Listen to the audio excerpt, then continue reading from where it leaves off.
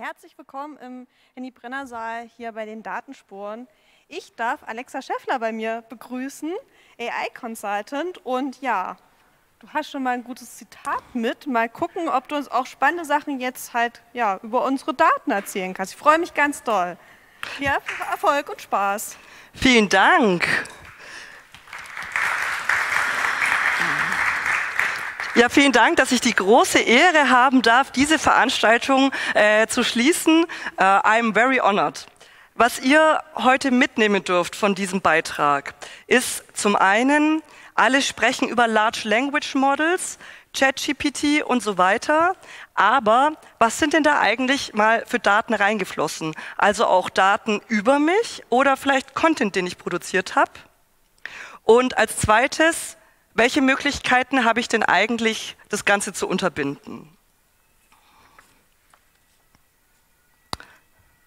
Also, wir sind ja im Jahr 2024 und es hieß, das gesamte Internet wurde von der KI eingelesen. Das gesamte Internet? Nein.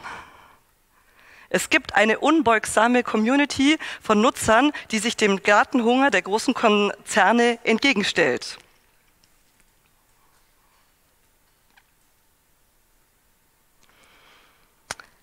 Wir haben alle schon gehört, diese KI-Modelle, die sind sehr, sehr datenhungrig. Die großen Modellanbieter, die leben ja davon, dass sie richtig viele Daten haben, die sie in die Modelle für die Trainings nutzen können. Und das, was sie bisher an Daten gesammelt haben, reicht anscheinend nicht aus. Die Social-Media-Plattformen überlegen schon, wie kommen sie denn eigentlich an den Content ran, den die User jeweils produzieren. Also man sieht hier, alle machen sich schon Gedanken, Facebook natürlich, ähm, oh, wir haben ja eigentlich auch ganz viel Content, den man in diese Modelle reinschmeißen könnte. Ob dieser Content dann immer ein gutes Beispiel für intelligenten Content ist, das lassen wir jetzt mal dahingestellt.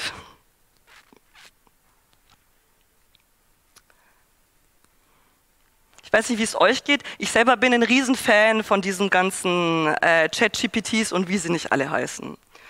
Und ähm, da kann man sich natürlich schon fragen, ich habe da sehr, sehr großen Nutzen davon. Kann ich denn da auch irgendwie beitragen, indem ich jetzt so eine Data Donation eigentlich mache? Und ähm, als verantwortungsvoller Nutzer, der mit seinen Daten auch gut umgeht, wenn ich ein neues Tool anfange, schaue ich immer so ein bisschen in die Datenschutzbestimmungen und welche Einstellungen kann man denn da so machen? Nicht, dass mir da einzeln nochmal sowas untergejubelt wird. Und bei ChatGPT bin ich auf diese Einstellungen gestoßen und es ist ja schon sehr nett formuliert, möchtest du daran beitragen, das Modell für alle zu verbessern? Und dann habe ich erst mal gedacht, so ja, hm, man weiß ja auch immer nicht, wohin man das gibt. Hab dann aber so ein paar Schritte weiter gedacht. Moment mal, wie viel von Alexa Scheffler steckt denn eigentlich schon in diesen Modellen drin? Und dann habe ich was gemacht, was ich eigentlich schon sehr, sehr lange nicht mehr gemacht habe. Ich habe mich einfach mal wieder gegoogelt. Ich glaube, das habt ihr auch bestimmt alle schon mal gemacht, aber es lohnt sich, sowas alle paar Jahre äh, zu wiederholen. Und dabei ist mir aufgefallen, äh, so was es so über mich zu lesen gibt. Das sind halt eher so berufliche Themen, da bin ich auch völlig damit einverstanden. Aber ich habe ja auch schon einiges an Content produziert, im Sinne von mal Beiträge geschrieben, Veröffentlichungen gemacht, wo mein ganzes Herzblut, Schweiß, Gehirn reingeflossen ist und ähm, hat mich da eigentlich jemand mal gefragt, ob das auch verwendet werden darf für das Training.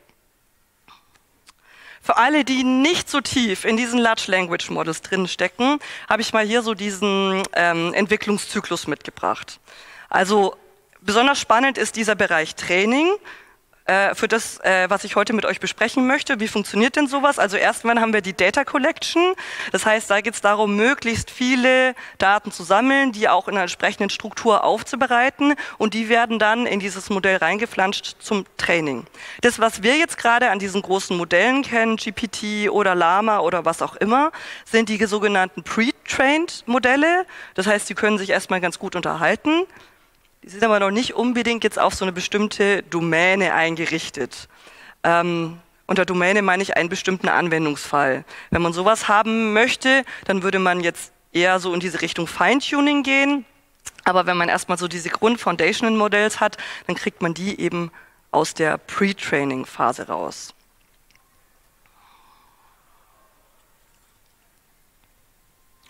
Fragen wir doch mal OpenAI.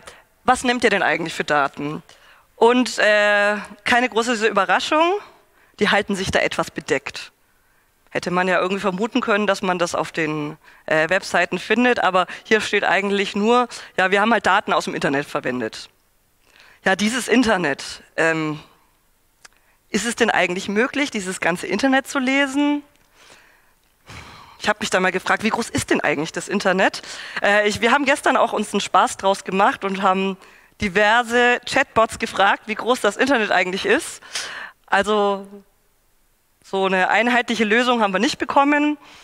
Schauen wir uns doch mal an, ähm, wie viele Google-Webseiten eigentlich indiziert sind. Da habe ich so eine ganz interessante Seite äh, gefunden. Und ähm, es schwankt sehr stark, wie viel Google so in seinen Indexen drin hat. Jetzt haben wir mal hier die letzten drei Monate, sind auch ganz aktuelle Zahlen. Also haben wir ungefähr fünf Milliarden Webseiten, also als Anzahl. Sagt jetzt nicht unbedingt, wie viel da drauf steht, aber nur, dass man da mal so einen so einen Überblick hat darüber. So, aber ich wollte ja eigentlich herausfinden, dieses Pre-Training, was, womit ist das denn eigentlich vonstatten gegangen? Und in den frühen Phasen der Large Language Models, da war man eher noch so in der Research Community äh, unterwegs und da gehörte es sich eigentlich, dass man darüber dann auch entsprechende Paper veröffentlicht, was man denn da tut und da auch transparent ist von dem, wie man es getan hat. Und da habe ich dann tatsächlich was gefunden. Und zwar einmal über GPT-3 und äh, Lama. Und wenn man sich jetzt hier die oberste Quelle anschaut, dann scheint das ja sehr, sehr wichtig für die Trainings gewesen zu sein. Also bei beiden in der ersten Zeile sehen wir einen sehr, sehr hohen Prozentsatz an der Quelle Common Crawl. Ich weiß nicht, wie es euch geht, also ich kannte die vorher eigentlich nicht, aber das scheint ja wohl irgendwie was Wichtiges gewesen zu sein, um diese Modelle aufzubauen. Bei Meta sehen wir noch eine andere wichtige Quelle, C4. Das ist aber so ein kuratierter Input, der auch aus Common Crawl eigentlich kommt. Und dieses Common Crawl ist eigentlich eine total spannende Company. Das ist eine Non-Profit Company aus Kalifornien. Und die gibt es eigentlich schon relativ lange. Das hat sich eher aus so alternativen Suchmaschinen zu Google entwickelt, dass man einfach Google nicht das ganze Feld fürs Webcrawling überlassen wollte und eine Open Source Datenbank, wo man also quasi gecrawlte Webseiten ähm, für jedermann abrufbar haben kann. Also eher so in Richtung Forschung oder Datenanalysten, Journalisten oder Menschen, die einfach Dinge damit tun wollen. Die haben da gar nicht so viel dran verändert an den Daten. Äh, was so ein bisschen rausgefiltert ist, ist, wenn man so Menütexte hat oder sowas, dass das nicht mit drin ist, aber ansonsten die Inhalte. Und davon haben sie eine ganze Menge. Also äh, das Repository, äh, und das war so Ende letzten Jahres, lag immerhin bei 9,5 Terabyte Größe ich kann euch aber sagen, die, die ähm, GPT-Antworten, wie groß das Internet sind, waren weitaus größer.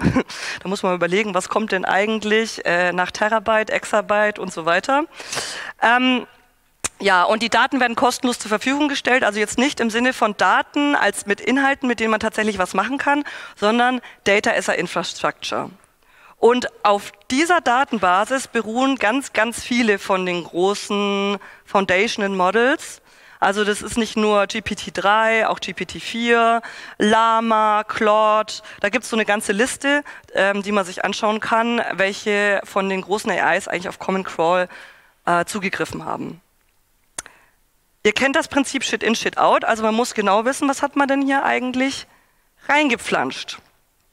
Und es ist nicht so, dass Common Crawl selber sagt, hey, wir sind die Datenbank für AI, sondern ähm, sie selber auch ähm, ganz offen kommunizieren, dass sie gar nicht glauben, dass sie eine repräsentative Spiegel des gesamten Internets anbieten. Also zum Beispiel aus ihrer eigenen Technik heraus, ist ein amerikanisches Unternehmen, dass sie so einen Bias in Richtung englischsprachigen Content haben. Dann ist es so, dass sie nur in regelmäßigen Abständen diese Snapshots machen und da ein Verfahren haben, wie sie die Webseiten auswählen nach Relevanz. Das heißt, man guckt sich an, welche Webseiten sind denn eigentlich so untereinander verlinkt und dann auch mit Ähnlichkeitsmaßen äh, arbeitet, ein bisschen anders als Google das macht, aber so von der Systematik her äh, geht das so in diese Richtung. Das heißt aber auch in jedem Snapshot wird eine vorige, werden die vorigen Ergebnisse auch präferiert wieder mit reingenommen. Für neue Webseiten ist es also schwierig, da überhaupt mal mit reinzukommen. So, ähm, wenn man das weiter verwenden will, geht es dann auch um entsprechendes Cleaning. Man will ja auch nicht, dass die Suchmasch also die Foundational Models sowas wie Hate Speech lernen oder pornografische Inhalte oder sonst was. Das heißt, da geht es um so ein Cleaning, das auch durchzuführen. Äh, das ist dann zum Beispiel sowas wie C4, was wir bei Lama gesehen haben. Da wurden solche Inhalte entfernt. Common Crawl bietet auch was an, wo diese Inhalte drinnen sind, weil sie auch ermöglichen möchten, dass man zum Beispiel Forschung macht auf Hate Speech, also wie sich sowas zum Beispiel über ein bestimmtes ähm, Thema entwickelt. Also insofern nicht von vornherein gecleant. Wer hier weiteres Interesse dran hat, da gibt es ein super cooles Paper von der Mozilla Foundation. Die haben sich das mal genau auseinandergenommen. Was sind eigentlich so die Limitations dahinter, wenn man Common Crawl verwendet? Haben auch diverse Interviews geführt mit Engineers von Common Crawl äh, oder auch mit den Gründern. Woher, wo, wofür habt ihr das denn eigentlich mal ursprünglich äh, verwendet gehabt? Und ähm, ist ein ziemlich cooles Paper für jemanden, der sich dafür interessiert. So, also jetzt wissen wir zum einen inhaltlich, was denn da alles schon drinnen ist. Das heißt, zur Frage, was von Alexa Scheffler könnte denn da eigentlich drin sein? Also könnte schon sein, dass die Paper, die ich mal geschrieben habe, da drin sind. Die sind auf den ganzen großen Portalen äh, abrufbar. Also äh, ist sehr wahrscheinlich, dass das dann da auch irgendwo drinnen steckt. Aber ähm, darf man das eigentlich? Also ich wurde da ja auch nie gefragt. Was sagt denn da der Gesetzgeber dazu? Und für solche Fälle ist dann das Urheberrechtsgesetz dasjenige, was äh, schlagend ist. Und hier findet man so schön, ist ein bisschen älter, man hat das dann früher also Text Mining und Data Mining genannt, aber äh, laut Definition würde das also auch künstliche Intelligenz sein. Das heißt, kannst du verwenden, es sei denn, man hat das vorher explizit angegeben, dass man sowas nicht möchte. Und also zu früheren Zeiten hat da vielleicht auch noch nicht jeder dran gedacht, dass man das also explizit untersagt hat. Das heißt, äh, also wenn ihr irgendwie Lust habt, euch irgendwie selber so ein, eine AI zu bauen und wollt das ganze Netz durchsuchen, äh, könnt ihr frei machen bei jedem und äh, urheberrechtlich habt ihr da auch erstmal keine Probleme. Dann gibt es so ein bisschen den großen Streit, vielleicht habt ihr das mitbekommen, also OpenAI und die New York Times, die ja ein sehr, sehr großes Archiv an äh, sprachlich äh, hochqualitativen Inhalt hat. Und äh, die haben natürlich dann über auf ihrer Webseite haben sie sowas untersagt. Ich habe das da mal irgendwie rausgesucht, da steht dann explizit in den Usage Terms drinnen, darf man nicht mehr. Und das haben eigentlich alle großen Medienhäuser sind da inzwischen schon nachgezogen, um sich da mal abzusichern, dass ihre Inhalte da nicht einfach verwendet werden. So, also wie gut kann ich denn jetzt eigentlich kontrollieren, was mit meinen Daten geschieht? Und dann muss man auch ein bisschen auseinandernehmen, was sind denn jetzt eigentlich meine Daten? Also der Klassiker, der auch durch die DSGVO adressiert wird, das sind so meine eigenen Nutzungsdaten, also wie was man vorhin gesehen hat von ChatGPT, irgendwo, wenn man ganz tief in den Einstellungen bohrt, muss man irgendwo ein Häkchen finden, wo man sagen kann, dürfte verwenden, dürfte nicht verwenden. Ich habe das jetzt mal noch als die stärkste Kontrollmöglichkeit gesehen, also wenn man wirklich dahinter ist, hat man da schon noch die Möglichkeit, mal das ein oder andere Häkchen zu setzen. Dann gibt es diesen User-Generated Content, also wenn ich jetzt hier zum Beispiel einen Beitrag habe, äh, jetzt werde ich gefilmt, es wird im Netz hochgeladen. Äh, inwiefern kann ich denn da eigentlich sicherstellen, dass das dann nicht weiter verwendet wird? Da habe ich die Möglichkeit, explizit äh, dem Ganzen zu entsagen, wie wir das gerade im Urheberrecht ähm, gesehen haben, setzt aber voraus, dass ich irgendwie weiß, wo meine Inhalte denn überhaupt eigentlich alles rumfliegen. Und bei manchen, bei manchen Plattformen also zum Beispiel unsere Freunde von Meta, die beschließen sowas dann einfach plattformweit und wenn du weiterhin auf der Plattform bist, dann stimmst du dem dann also automatisch zu, dass man das nicht tun darf. Vielleicht gibt es dann irgendwann mal eine große Klage, aber das kann da auch noch mal ein paar Jährchen dauern. So, und dann gibt es dann das, was dann also quasi Dritte über mich schreiben. Kriege ich ja im Zweifelsfall irgendwie gar nicht mit. Ne? Das saust dann irgendwo im Web rum. Kann ich ja eigentlich gar nicht, kann man ja gar nicht kontrollieren, ne? was irgendwie alles Leute über einen berichten. Also das sind so diese drei Dimensionen, die man da so ein bisschen im Auge haben muss. Also nicht so, will ich das eigentlich, sondern habe ich überhaupt die Möglichkeiten, hier Einfluss zu nehmen. Ja, und jetzt zur Eingangsfrage. Soll ich es wirklich machen? Also man kann das auch so sehen, dass es so meine Art von Bezahlung von einem Gratisdienst ist. Wäre eine Sichtweise. Aber was die dann da letztendlich damit machen, ähm, wenn ich meine Daten mal aus der Hand gegeben habe, äh, habe ich eigentlich gar keine Kontrolle mehr. Also ich denke, das muss jeder für sich selber entscheiden. Was sagt denn die Verbraucherzentrale eigentlich dazu? Also ich habe euch das mal mitgebracht, ob die Inhalte jetzt helfen oder nicht, sei mal dahingestellt. Dann lad halt nichts hoch und sag deinen ganzen Freunden und Bekannten, sie sollen dich halt nicht vertaggen. Ähm, ja, oder dann solltest du halt einfach kein Social-Media-Profil haben. Nun gut, also äh, ihr seht, das sind so beschränkte Möglichkeiten, darauf Einfluss zu nehmen, aber zumindest hoffe ich, dass ich euch mal ein bisschen näher gebracht habe, ähm, was denn eigentlich auch vielleicht von, von euren Daten oder eurem Generated Content in die Large Language Models äh, geflossen ist. Und ich freue mich darauf, vielleicht gibt es ja die ein oder andere Frage. Möchtest du erstmal hochkommen? Ja, ich will dir erstmal Danke sagen. Danke dir für den vielen Input. Da könnte schon noch. Komm. Dankeschön. Ja. Ja, und vor allen Dingen deine kreativen Dat äh, Fragen, die du dir gestellt hast, wie, hey, wie groß ist das Internet und sowas, fand ich ganz toll. ähm, gibt es denn Fragen aus dem Publikum gerade? Ich mache wieder den Schattenblick. Ach, uh, wir hätten sogar eine Keule unten gehabt. Rom oh, das wow. siehst du. Wir haben uns so auf dich gefreut, es gibt zwei Engel. Ja, hier. Das ist doch gut. Ähm, ja, vielen Dank für den spannenden Vortrag. Wie hoch ist die Wahrscheinlichkeit, dass sich amerikanische Konzerne an das deutsche Urheberrecht halten? Also ich bin keine Juristin, ja. Ähm, ich habe aber Juristen gefragt und die haben gesagt, dass wenn sie hier diesen Dienst in Deutschland anbieten und quasi hier also ein Geschäftsmodell haben und hier Dienste verkaufen, dass sie sich dran halten müssen. Jetzt haben wir einmal in der Vergangenheit gesehen, da lief dann das Spielchen so, die machen erstmal, was sie wollen und dann gibt es irgendwann mal eine Sammelklage im Europäischen Gerichtshof. Es sind x Jahre in äh, äh, vergangen und dann gibt es irgendwann mal eine mehr oder weniger hohe Strafe, die dann hoffentlich hilft, die Kassen ein bisschen aufzubessern und dann passieren dann auch Dinge. Also so wäre jetzt mal mm, in meiner Glaskugel, was denn so passiert. Ansonsten, es sind ja jetzt auch so die Rahmenbedingungen, die geschaffen werden, wenn es jetzt nicht um mein laienhaften Content geht, sondern wenn man jetzt mal wirklich den großen Journalismus anschaut, dass eigentlich alle großen Medienhäuser jetzt inzwischen ähm, Kooperationen mit äh, den, den, den großen Chatbots haben. Also jetzt Ende des Jahres ging es durch die Medien, dass sich äh, Springer, die sind ja auch international tätig, dass die eine Kooperation mit OpenAI eingegangen sind. Auch dieses Thema mit der New York Times scheint sich inzwischen erledigt zu haben.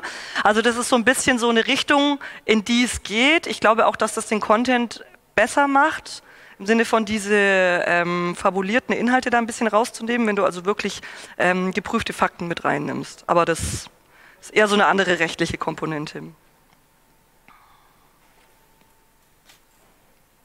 Okay, haben wir noch Fragen im Saal?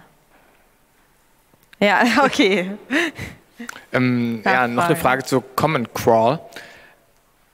Äh, könnte man das jetzt theoretisch, also sich die 9 Terabyte runterladen und dann lokal durchsuchen, ob man, also jetzt, ob das technisch gut geht, ist eine andere Frage, aber wenn man genug Platz hat und so? Also die haben nicht immer nur die eine Datei, die dann die 9,5 Terabyte ist, sondern die haben auch verschiedene Chunks und Cluster. Also man muss sich schon so ein bisschen damit auseinandersetzen, ähm, welchen ähm, welchen Dateiabschnitt oder welchen Chunk ich eigentlich haben möchte. Auch da schon so vordefiniert, doch nach bestimmten Basisfilterungen, aber das kann äh, jeder nutzen. Äh, Nachfrage von mir, was sind das dann so für Filter? Also hast du da ein Beispiel? Ja, das der Klassiker wäre halt sowas wie Hate Speech. Okay. Oder ähm, ähm, wenn wenn so klassischer Nonsens mit viel so Rechtschreibfehlern ist oder sowas, mhm. dass man das quasi raussetzen kann. Ansonsten kann jeder Data Scientist, der Lust drauf hat, ähm, sich das Ganze einlesen und dann nochmal seine eigenen Filter bauen. Und da ist, ist tatsächlich auch eine sehr, sehr große Community dahinter entstanden. Also wo es unheimlich viele Datenabzüge zu bestimmten Themen mit bestimmten Filtern und so weiter äh, gibt. Es ist auch von der Qualität her so, dass da bestimmt auch nochmal nachgearbeitet werden muss, weil du hast ja teilweise diese, also die Menüs machen sie raus, aber so diese ganzen Kontextinformationen, die da noch auf so einer Webseite sind, sind teilweise ja auch nicht so interessant. Also da kann man wirklich eine ganze Data Science draus machen. Okay, spannend. Gibt es noch mehr Fragen? Ja, nee, nur gewackelt. Ja, also, müsst ja nicht. Äh, ihr könnt ja dann vielleicht auch neben der Bühne fragen, wenn ihr euch nicht traut. Ich danke dir nochmal ganz doll für den Abschluss hier. Ja, vielen Dank, dass ihr alle noch da wart. Mega cool.